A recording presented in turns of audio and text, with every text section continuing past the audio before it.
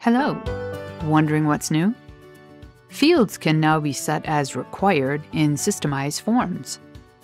Making a form field required means that it must have an entry in order to save changes to the form once it's opened.